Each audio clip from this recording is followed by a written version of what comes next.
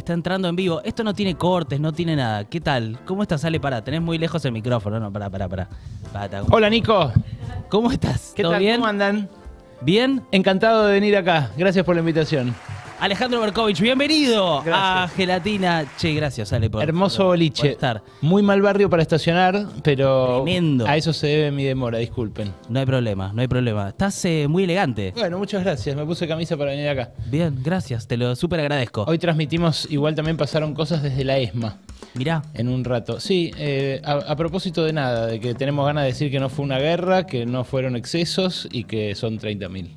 bueno, es importante Sí, decirlo en sí, este momento. Sí, la verdad que sí. Che, eh, bueno, tengo mucho para preguntarte. Bueno, dale. Eh, antes que nada, supongo que la primera pregunta es, eh, ¿cómo estás atravesando este momento? O sea, pues está, está pasando mucho. Sí.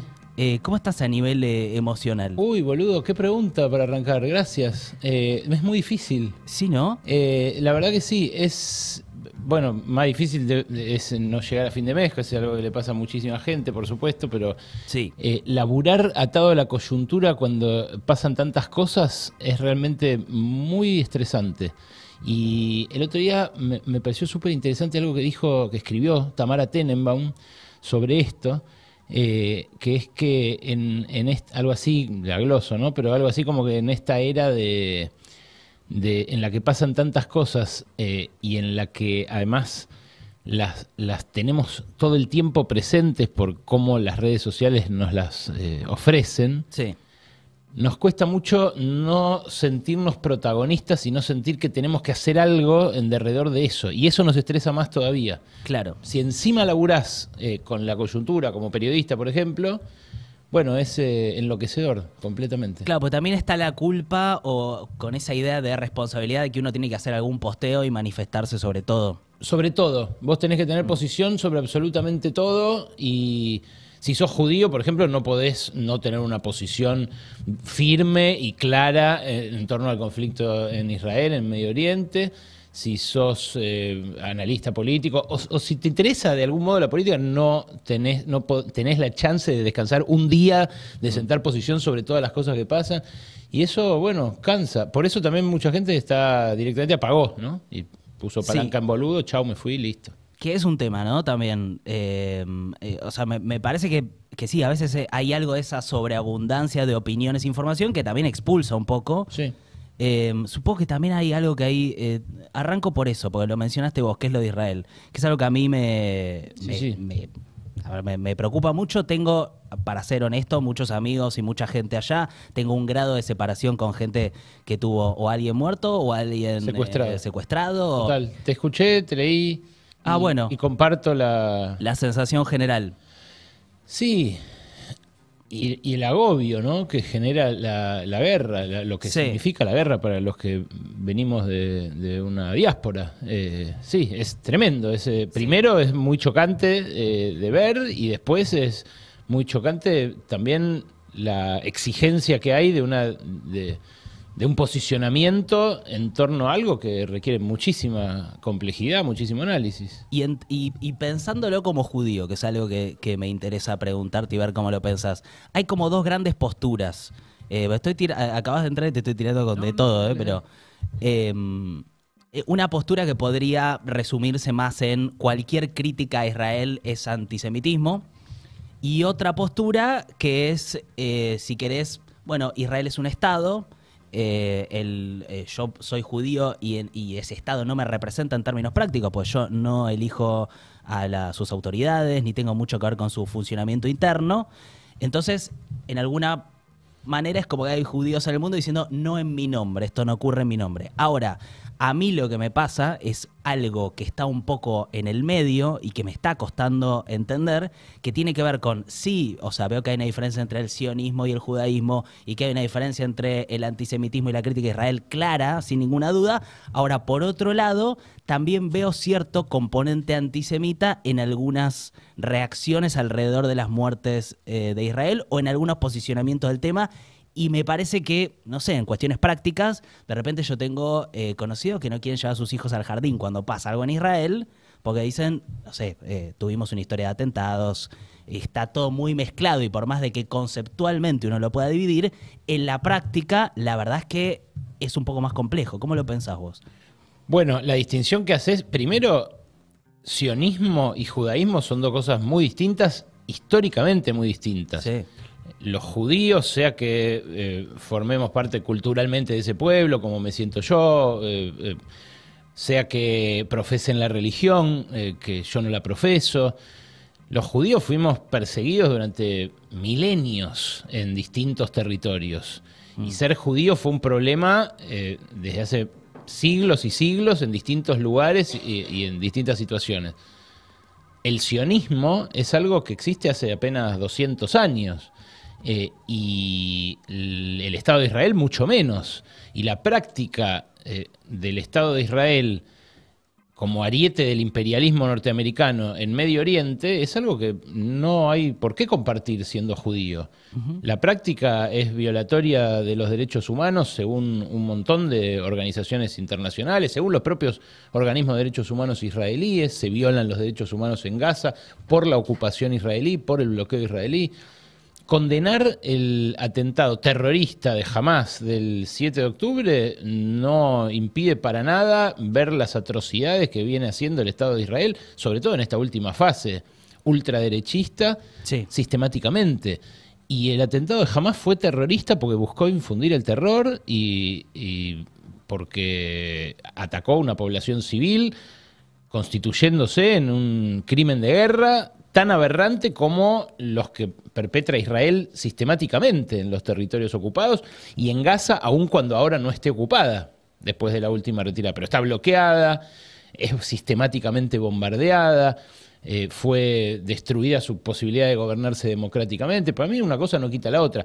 Donde se cuela el antisemitismo es en varios lugares.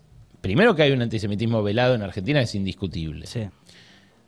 Pero también se cuela en la en el veto a que nosotros como judíos podamos tener esta discusión también. Porque acusar de antisemita al que no comparte la política guerrerista del Estado de Israel es también una forma de antisemitismo. Eh, es también una forma de, de inhibirme a mí, de complejizar o de pensar algo que, que yo realmente creo que hay que complejizar. Para que no haya más atentados, para que no haya eh, más eh, guerra y para que puedan convivir palestinos e israelíes en un territorio donde no son iguales hace muchas décadas, Nico, a, Sí. donde, a donde hay ciudadanos de segunda. Sí, sí, sí.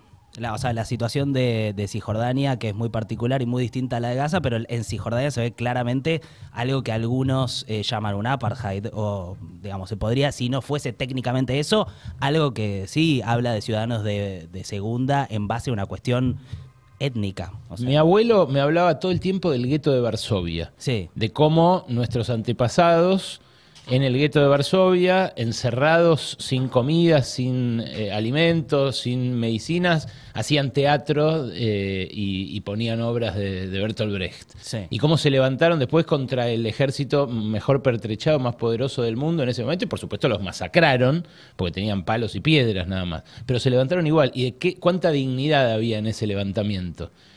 Bueno, yo cuando vi las primeras imágenes de Gaza bloqueada y bombardeada, lo que sentí es que los que estábamos haciendo el gueto esta vez éramos nosotros, los descendientes de los que estaban en el gueto en Varsovia. Y eso es una mierda como sensación. Eh, nadie me puede prohibir tener esa sensación a mí como judío. Y la tengo. Y es muy íntima y, y, y- y tiene que ver con, con- con sentirme humano. No, Claro, no, sí. no es otra cosa. Em, bueno, te llevo a un tema mucho más arriba, que son... que son... El eh, dólar. Sí. Sí, claro, por supuesto. Che, eh, bueno, pues la discusión es medio así, ¿viste? Medio como... Sí, sí. Sí, es un delirio. Alien o depredador. Sí, sí, de, de- de emociones y sensaciones. Y uno como pasa algo corto, paso a lo siguiente. Che, bueno, estas elecciones están generando mucha ansiedad. Eh, yo lo veo en todos lados, ¿no? Cualquier charla que tenés es, bueno, ¿cómo la ves? ¿Qué va a pasar? Supongo que eh, la pregunta que, me gustaría hacerte es un poco más profunda, que es, eh, para vos, ¿qué es lo que está en juego en estas elecciones? Porque hay una sensación de que son en algún sentido históricas eh, o que tienen un nivel de importancia, ¿viste? ¿Qué ves que está en juego de fondo en las elecciones? Lo más importante que está en juego para mí es quién va a administrar el próximo ciclo económico de la Argentina que puede ser de recuperación y de cierta abundancia de dólares en contraste con lo que tenemos ahora. Ok.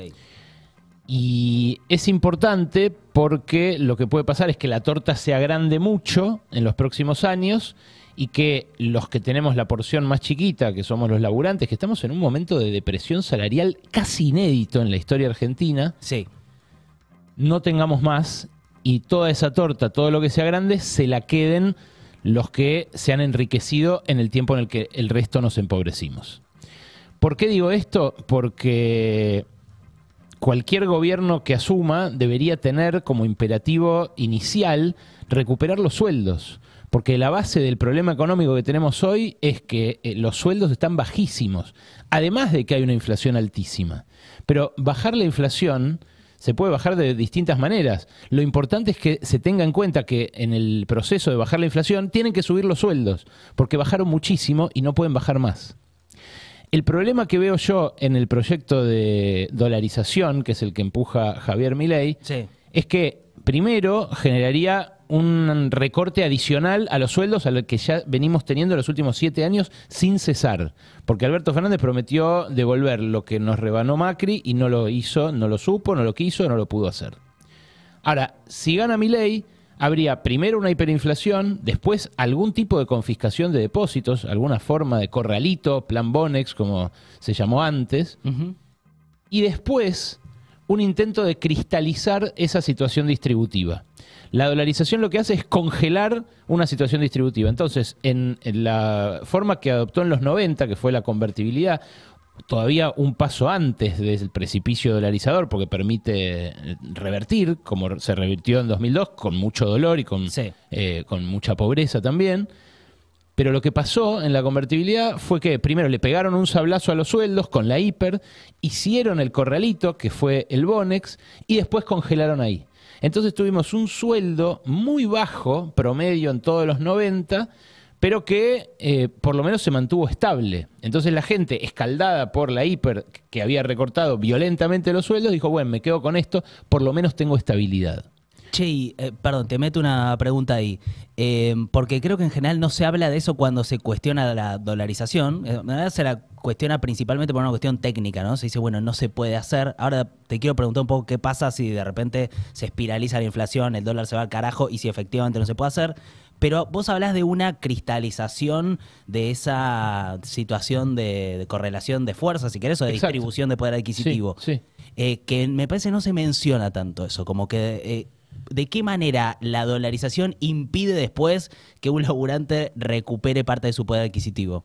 La convertibilidad fue eh, muy clara en ese aspecto como ejemplo. Y claro, hay mucha gente que no la vivió, pero en la convertibilidad no había paritarias. Entonces, si de repente a un sector le empezaba a ir muy bien, por ejemplo a la banca, que eh, ganaba muchísimo dinero porque hacía, por ejemplo, préstamos al Estado, tenía las AFJP, timbeaba con los aportes patronales de todos los trabajadores, Sí. eh, eh, compraba acciones, vendía, hacía ganancias no coparticipaba ese momento dulcísimo con sus empleados. Los bancarios siempre ganaron bien en comparación con otros, pero no es que había una discusión paritaria en la cual la bancaria pudiera sentarse y decir, miren estos balances, están teniendo una ganancia extraordinaria, súbanos los sueldos. Pues la paritaria se hace más en base a, a la inflación que en base a las ganancias de las empresas. digamos, Exacto. Entonces, lo que pasó es que dejó de haber discusión paritaria. Porque no había inflación. Claro.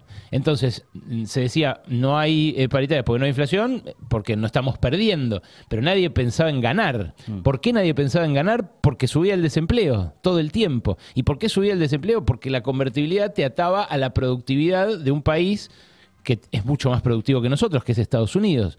Entonces estaba la sensación de que podíamos viajar al exterior, de que eh, se podían comprar un montón de cosas importadas, pero eso era sistemáticamente financiado primero con privatizaciones, las joyas de la abuela, y después con deuda.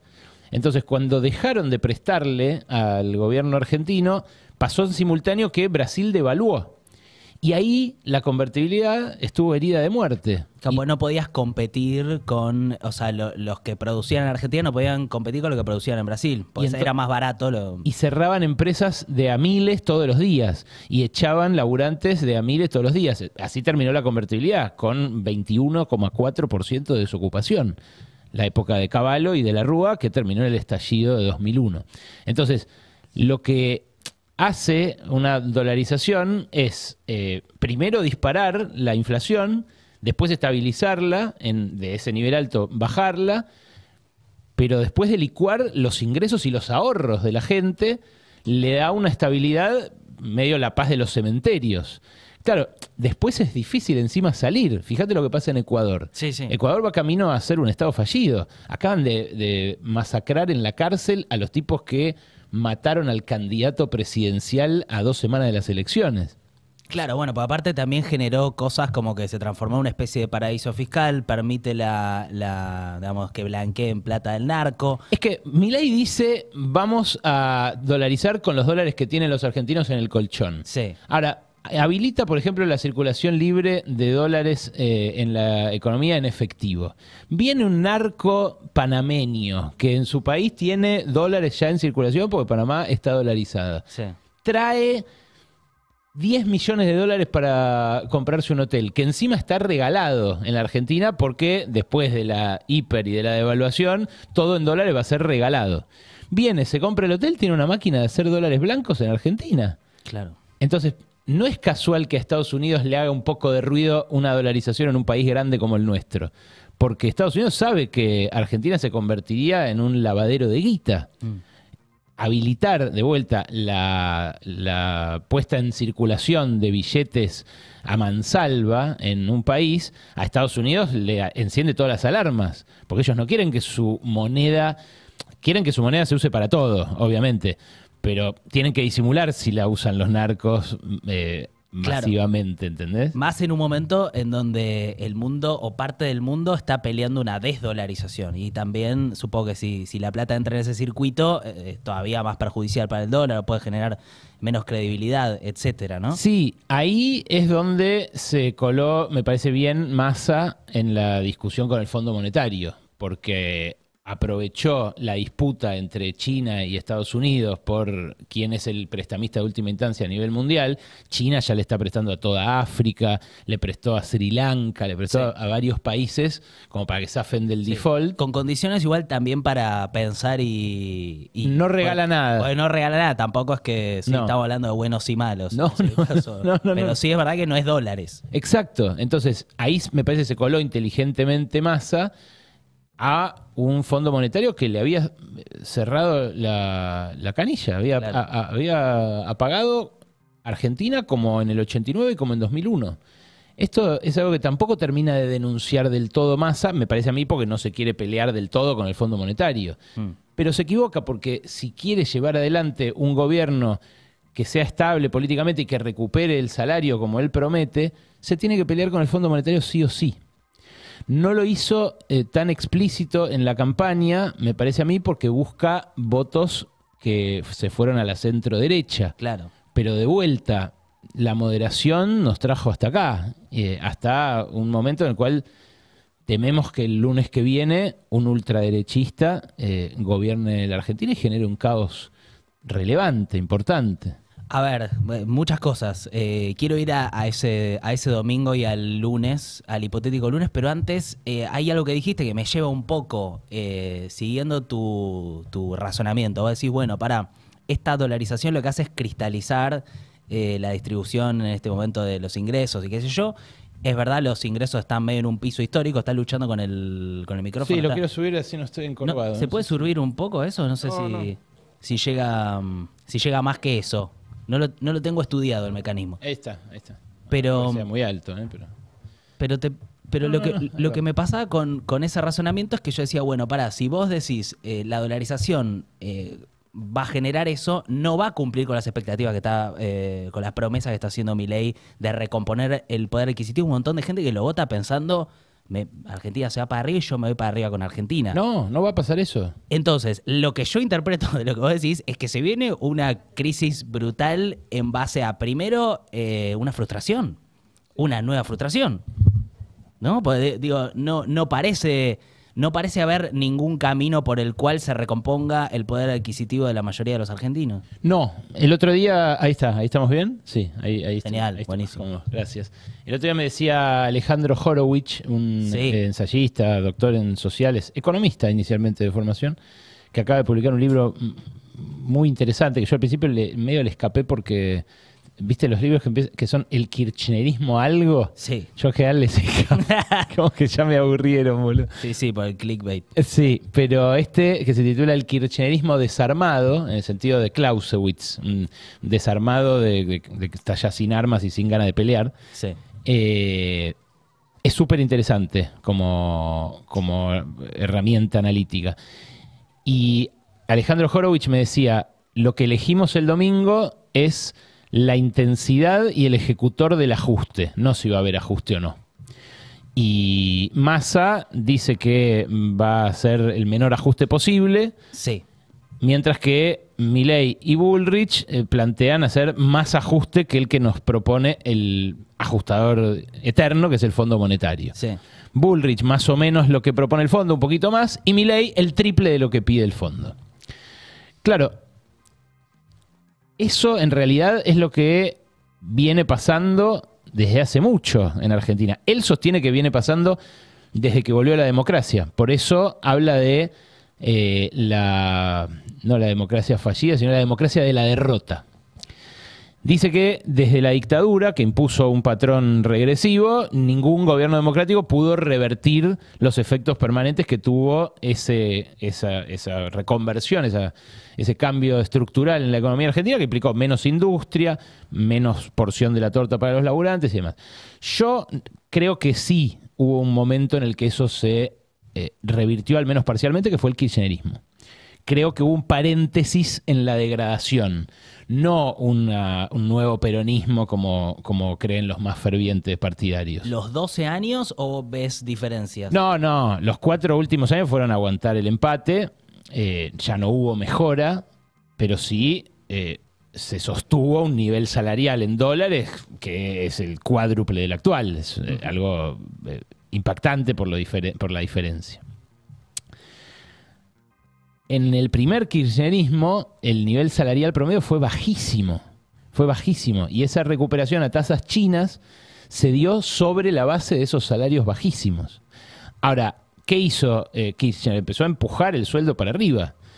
Eh, y lo empujó con el salario mínimo, primero con los aumentos de emergencia que había empezado a dar Dualde.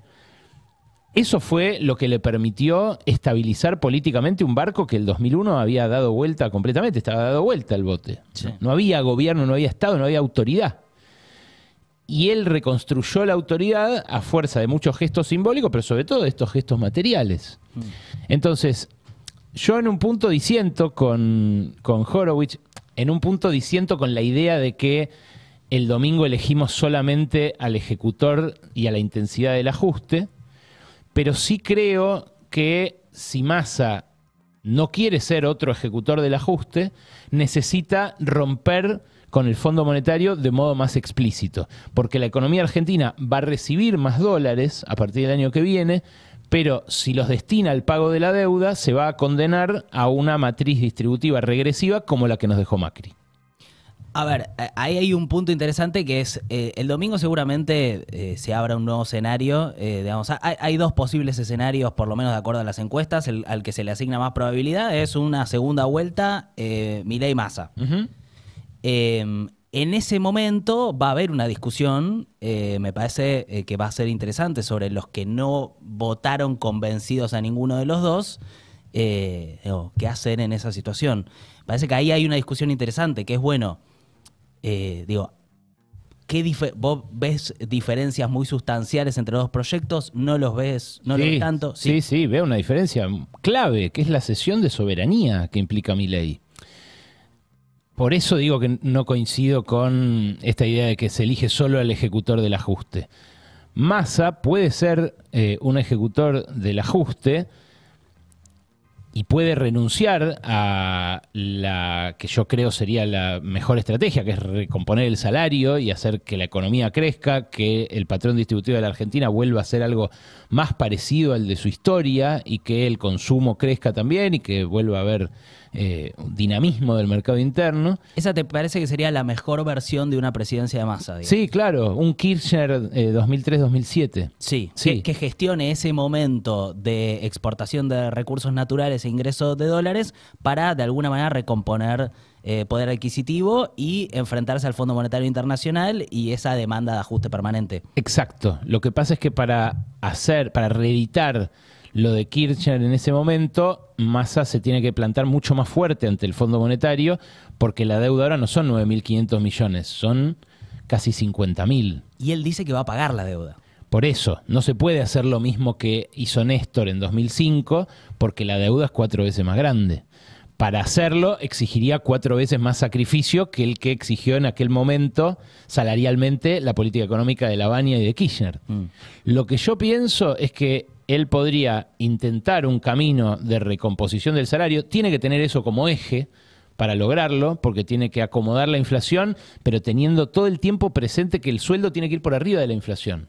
Tiene que ir bajando la inflación, pero los precios van a seguir subiendo. Lo que hay que lograr es que los sueldos suban más que los precios y que el dólar suba menos que los precios, al menos durante un tiempo, después de lo que ya fue una hiperdevaluación. Ahora, ¿cómo hacer eso? ¿Cómo hacer ese plan de estabilización? ¿Cómo lograr la desinflación priorizando los salarios? Es un quilombo. Sí. Del otro lado, lo que propone mi ley es cerrar la caja de seguridad y tirar la llave al mar. Y en, adentro de la caja de seguridad lo que está es la situación actual, congelar lo actual con esa dolarización. De vuelta, primero tendría que haber todo el, todo el fuego de la hiper, del, corralito que él mismo está fomentando que, ocurra ahora. Bueno, eso, eso está interesante, porque está pasando estos días y posiblemente pase a partir del lunes, de acuerdo a cuál sea el escenario, porque ahí va a haber una interpretación. De, o sea, vos vas a ver mi ley sacándole, no sé, supongamos, sale primero, tiene una hipótesis, pero le saca, digamos, más de cinco puntos a masa, masa igual entra a la segunda vuelta, pero se interpreta que tiene muchas más chances mi ley de repente eh, va a pasar lo que está pasando ahora, pero eh, con mucha más intensidad, que es esta idea de la cobertura. Eh, supongo que, mi pregunta es difícil de expresar, pero se está por ir. ¿qué esta sensación, ¿Se está por ir todo al choto? ¿Se puede ir el lunes?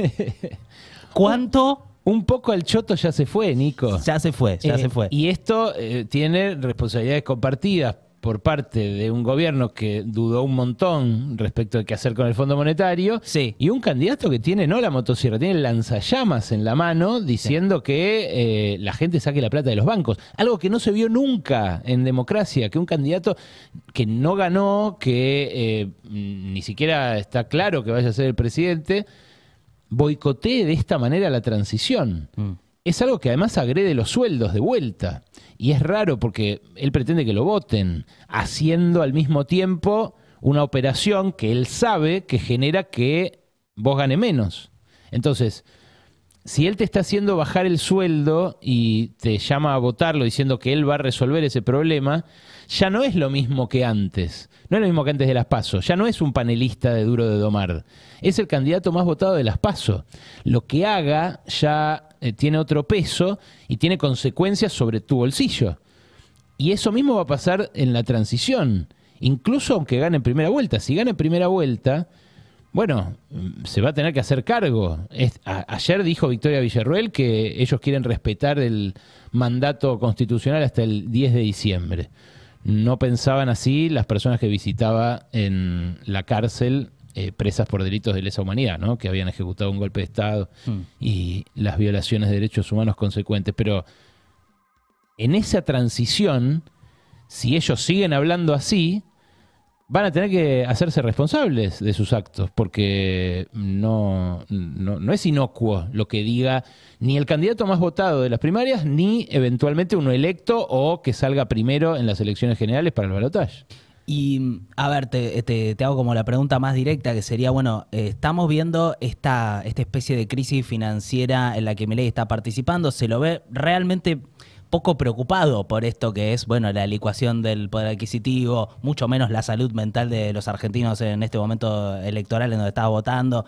Eh, pero digo, pareciera que él necesita una situación de hiper o de, un dólar descontrolado para poder aplicar su plan, entonces que lo está fogoneando, y al mismo tiempo están estas declaraciones en donde decís, mira, eh, parece haber más que un negacionismo de la última dictadura, parece haber casi reivindicación de parte de la última dictadura, eh, Victoria Villarruel eh, haciéndose cargo de seguridad. En ese sentido, ¿vos, ¿vos ves que mi ley es un peligro para la democracia? Es un peligro para la soberanía argentina en términos de que si dolariza, no solamente cristaliza la, la relación de fuerzas adversa a los laburantes que hay en este momento, sino que también le entrega una, una tecla, un resorte clave de la administración de nuestro bolsillo a Estados Unidos. Y Estados Unidos viene mirando con especial cariño nuestros recursos minerales, el litio, nuestros recursos energéticos, vaca muerta y los alimentos que produce Argentina lo viene diciendo abiertamente, porque lo dice la general Laura Richardson, la jefa del Comando Sur, no, no, no hay en esto una posición velada. Si en un mundo en dos guerras, como el que vamos a tener al menos el próximo año, probablemente los próximos años, en el cual Estados Unidos se ve desafiado en dos frentes, en Medio Oriente y en Rusia. China eh, no termina de jugar, pero advierte a Estados Unidos que está del lado de enfrente, por lo menos en el conflicto ruso, manteniendo relaciones con Putin, puede ser que esos productos que tiene la Argentina en abundancia sean cada vez más valiosos. Y si adoptamos el dólar como moneda, le abrimos a Estados Unidos no solo la eh, puerta para administrar nuestra hacienda, nuestra eh, relación de, productiva con el resto del mundo, porque ellos tienen la Reserva Federal y deciden eh, qué relación tiene el dólar con otras monedas y demás, sino que también le abrimos la puerta a que entre, por ejemplo, la justicia yanqui. Porque la justicia yanqui, y esto se vio en un caso de bonistas la semana pasada, cada vez que hay dólares involucrados en un asunto, se siente eh, como interpelada, es su jurisdicción. Claro. Si hay dólares en un conflicto, la justicia yanqui puede intervenir.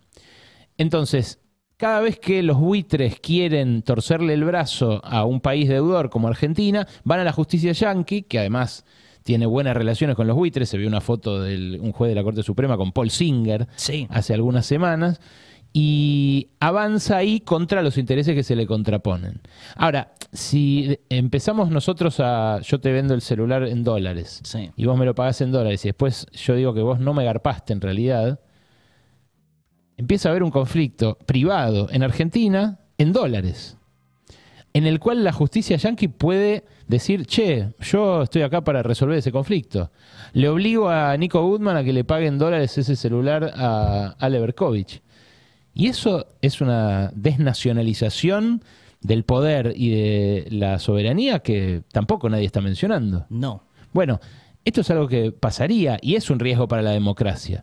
Después, si mi ley va a impedir que haya elecciones y se va a convertir en un dictado de suelo, no lo creo. No parece. No parece tener la fuerza para hacerlo. Si él lo desea, si lo desea Victoria Villarruel, si lo desean los milicos amigos de Victoria Villarruel, es otra cosa. Pero no le veo fuerza para hacer eso.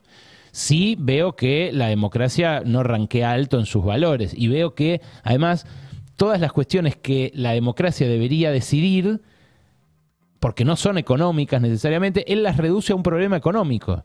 Lo hizo en el segundo debate, cuando hablaba de seguridad, citó a Gary Becker, se puso a hablar de Freakonomics, eh, que encima tampoco funcionó, son extrapolaciones de la economía a otras disciplinas que al principio flasheaban porque eran recopadas a fines de los 90, pero después se mostró que no, que no servían. No todos son mercados, el de, el de personas no es un mercado. No está bueno que eh, uno pueda comprarse niños si es rico y que el pobre se vea obligado a vender el tercer hijo porque no lo puede mantener. Hmm. No está bueno que te veas obligado a vender un riñón porque tenés dos y como no llegas a fin de mes decís, bueno, ya fue, vendo uno y el ricachón puede elegir porque se los compra. Eso no son mercados.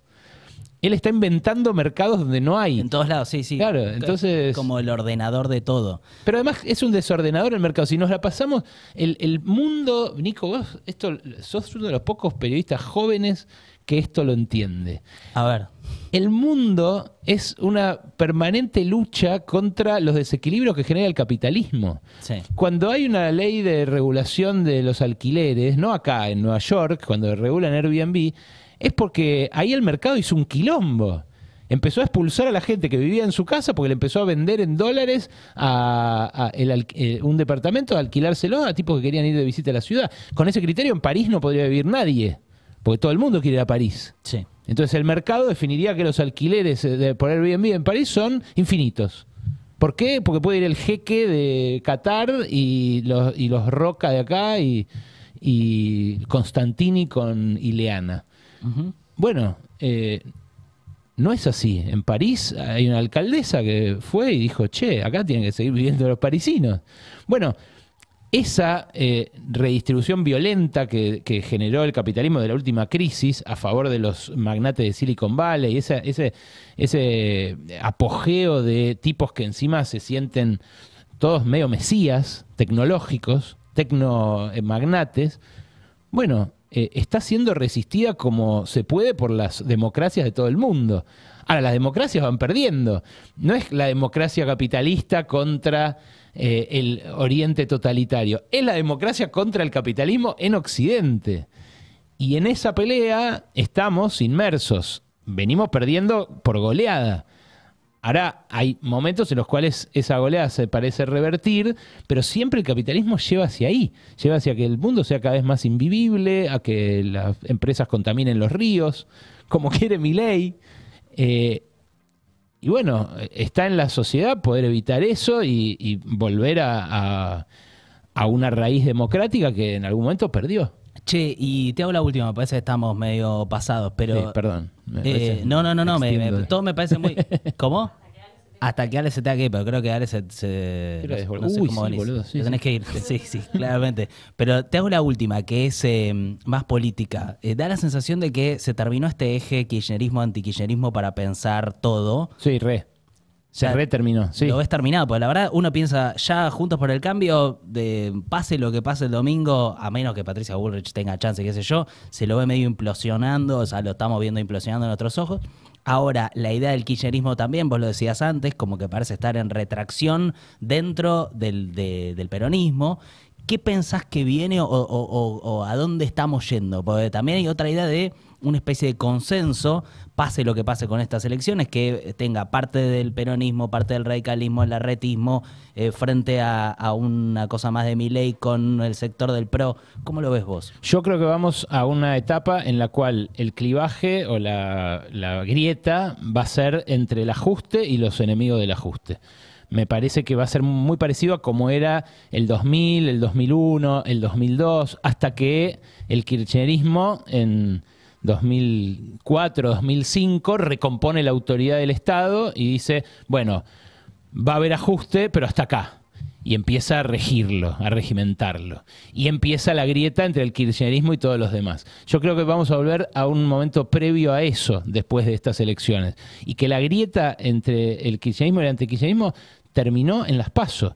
Se nota mucho en las conversaciones que tenés seguramente con macristas espantados por la posibilidad de que Milei sea presidente. Y se ve en las encuestas cualitativas, no en las de intención de voto, sino en las que cada votante de cada espacio explicita qué busca de su presidente Sí. menos del 10% de los que votan a, a las opciones opositoras que no son Bullrich, no, en Bullrich tampoco, escuchá, menos del 10% de los votantes de Bullrich la votan porque quieren que pierda el oficialismo. Y en los votantes de Milei es el 3%. En los de ella son el 9%, según Sentimientos Públicos. Es una encuestadora que está sacando cosas muy piolas. Mirá vos. Eh, con lo cual, la idea de antikirchnerismo se fue apagando, me parece a mí un poco en paralelo a la idea de kirchnerismo, que también se licuó en el frente de todos. Hoy los kirchneristas están todos gritando Sergio Tomás, Sergio Tomás, cuando un rasgo identitario del kirchnerismo era odiar a Massa. Sí. ¿No? Sí, sí, totalmente. Y ahora están cantando los jingles como locos. Sí. Y bueno, está bien. Salen de este mismo estudio. Claro, por eso, pero es que lo, lo entiendo perfectamente eso, sí. porque es una forma de autopreservación. Ahora, el kirchnerismo mismo sabe íntimamente que está en retirada. Sus dirigentes, por lo menos con los cuales yo hablo, lo saben. Si eso va a alumbrar una grieta más nutritiva o no, lo veremos en el futuro, Nico. Bueno, Ale Berkovich, eh, aprovecho lo último para decirte, te agradezco. Más que nada, eh, son pocos periodistas que yo escucho permanentemente y quiero saber qué piensan. Eh, vos sos uno de ellos. Muchas y- gracias, y Nico. creo que hay algo fundamental que es que pensás al aire, te haces preguntas, así que te lo agradezco, porque No, no. eh, la verdad que para mí es, eh, está buenísimo. A Y ustedes, gracias por haber venido a Gelatina, un placer total. Una más Avenida Gelatina, aguanten los jingles, me hacen cagar de risa, aguante tubo, me preocupa que tenga fecha de vencimiento, para mí tendrías que ir negociando el contrato. Estamos en eso, estamos charlando, Bien. te lo agradezco. Gracias porque me ayuda la presión. Fíjate la moneda porque puede haber un quilombito. Dale, sí, sí, tenés razón. Gracias, Ale. Bueno, seguimos con Tubo, no te olvides. Esto es Tubo.